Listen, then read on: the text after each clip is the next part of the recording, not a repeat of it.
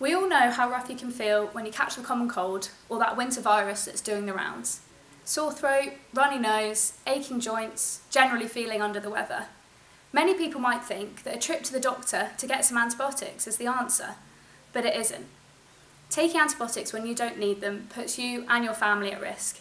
This is because bacteria are clever. Over time, they've evolved to become resistant to the medication that we use to treat them. This is known as antimicrobial resistance, or AMR. So let's listen to our GP, our nurse, our dentist, or our pharmacist's advice if they say antibiotics are not the answer.